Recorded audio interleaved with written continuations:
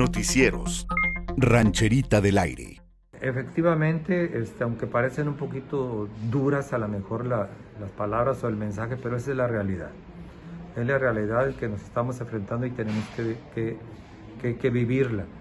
Aquí la primera es que se está apostando para que en las fechas que se esté pensando ya en el, en el regreso presencial de los alumnos es que el semáforo esté en verde.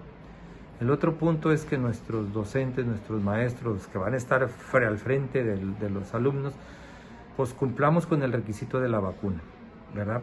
Ese sería lo más, lo más, lo más importante. Y sí, el regreso tendría que ser paulatino, poco a poquito.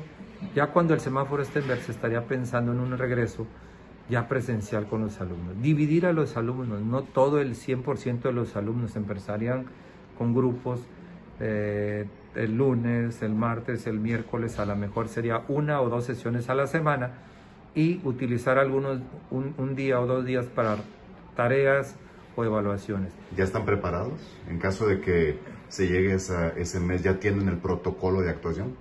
Mira, el protocolo ya está diseñado, ya sean dentro de las, de las, este, ¿cómo te diré?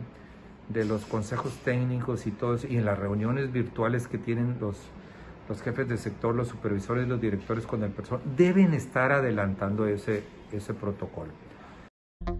Noticieros. Rancherita del Aire.